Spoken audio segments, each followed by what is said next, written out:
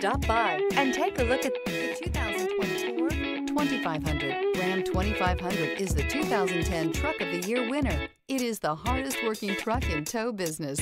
This vehicle has less than 100 miles. Here are some of this vehicle's great options. Four-wheel drive, tire pressure monitor, tow hitch, heated mirrors, brake assist, traction control, stability control, daytime running lights, privacy glass, four-wheel disc brakes. This isn't just a vehicle, it's an experience. So stop in for a test drive today.